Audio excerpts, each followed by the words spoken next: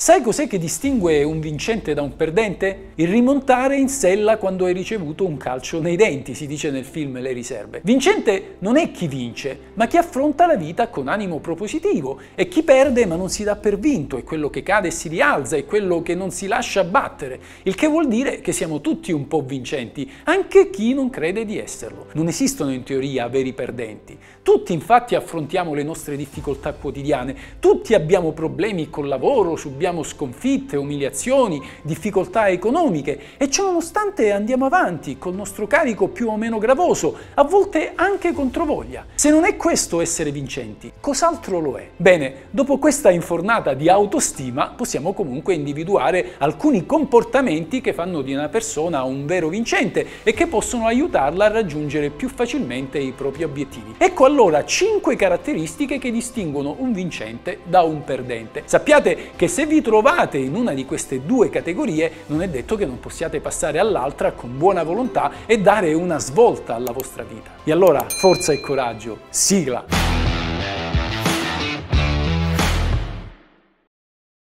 Dario usa Iporo per i suoi investimenti. Raggiungere il successo è stato facile grazie alle numerose opzioni finanziarie che la piattaforma offre. No, basta, io mi rifiuto, non mi pagano abbastanza per dire queste cose. Vai, Angelo.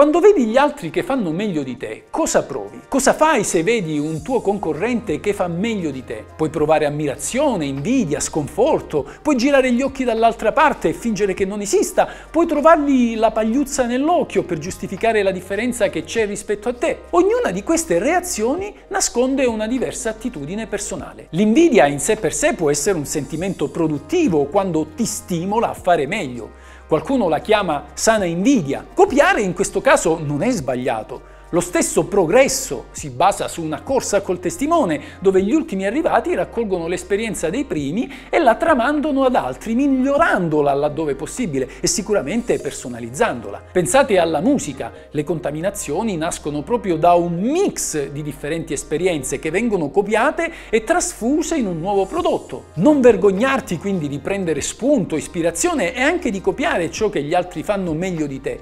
Se ti è possibile, avvicinali, diventa diventane amico, studiali da vicino per capire come migliorarti. L'invidia fino a se stessa invece non può che nuocere solo a chi la prova, senza peraltro danneggiare o influire sul successo del concorrente. L'invidia paralizza non consente di migliorarsi, è un sentimento sterile che merita di essere sepolto. Eppure c'è chi non ne può fare a meno, o c'è chi, quando vede qualcun altro fare meglio di sé, ne valorizza gli errori per rafforzare la propria autostima. Tapparsi gli occhi davanti all'evidenza però non cambia la realtà. L'obiettività, ma soprattutto un sano atteggiamento critico verso se stessi, è la prima chiave per renderti un vincente reale. Se sai apprezzare l'individualità altrui, sei un vincente. Se invece non sai riconoscere i meriti degli altri e ne trovi sempre i difetti, dentro di te prevale la parte del perdente.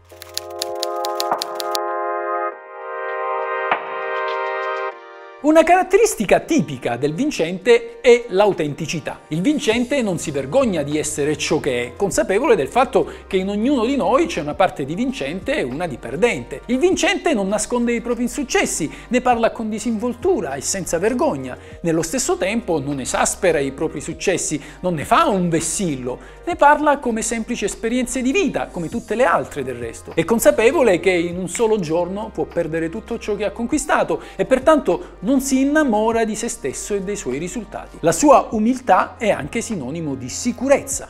Il vincente non si vergogna dei propri sentimenti, è sensibile ed empatico, è sostanzialmente spontaneo. Il perdente invece indossa una maschera, costruisce un personaggio intorno a sé in cui a volte finisce proprio per crederci. È tipico il caso di chi ha bisogno di sentirsi chiamato con il proprio titolo professionale, anche al di fuori degli ambienti lavorativi, perché si riconosce solo in quello e non come persona umana, dotata di una propria individualità e autenticità. Pensate a chi si freggia del titolo di professore e pretende di essere chiamato in questo modo in ogni circostanza. Si tratta di metodi che servono a rafforzare un'autostima che altrimenti mancherebbe per altri aspetti connessi alla persona.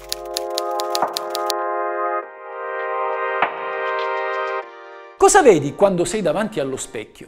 Se apprezzi la tua individualità alla pari di quella degli altri, in te prevale un atteggiamento vincente. Se comunichi a te stesso i tuoi reali sentimenti, le tue paure, i tuoi sogni, sei un vincente. Se hai fiducia nelle tue capacità, ma le sottoponi ciò nonostante a critica e le eserciti quotidianamente, sei un vincente. Ma se dai la colpa dei tuoi problemi agli altri, alla società, all'ambiente attorno, alle tue esperienze passate, magari ai tuoi genitori, alla tua ex moglie, ai tuoi amici, al condominio, al padrone di casa, sei un perdente. Sei un perdente se non riesci a spolverarti di torno il passato, se gli errori sono per te un peso, una vergogna e non uno stimolo a migliorarti. Il perdente è concentrato su se stesso e si compiange e si lamenta e in questa lamentela trova tutte le giustificazioni ai propri insuccessi.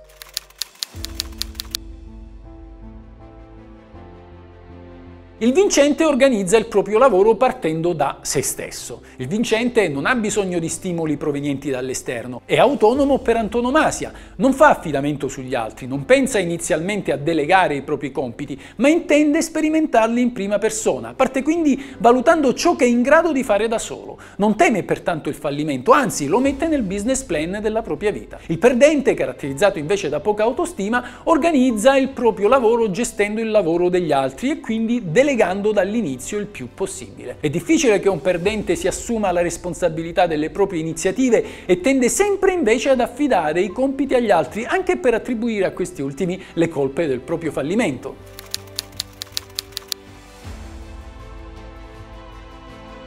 Il vincente è propositivo e speranzoso, nel futuro vede potenzialità, occasioni e per questo non solo non lo teme, ma gli va incontro con emozione. Il momento migliore della giornata per il vincente è quindi la mattina appena sveglio, è lì infatti che si misura con se stesso e con le prospettive delle successive 24 ore. Non ho mai visto un vincente alzarsi stanco, demoralizzato e già sconfitto prima di iniziare. Il perdente invece è proprio così, teme la sveglia, avverte un senso di dolore e pesantezza nell'intraprendere i propri compiti quotidiani, anche quelli più semplici. A volte, poco sincero, anche con se stesso, non riesce a rivelare al proprio io quanto detesti ciò che fa. Si trascina così sino a sera, possibilmente senza pensare che un altro giorno è stato in definitiva sprecato. A volte pensiamo al modo migliore per ammazzare il tempo, come se poi non fosse il tempo ad ammazzare noi.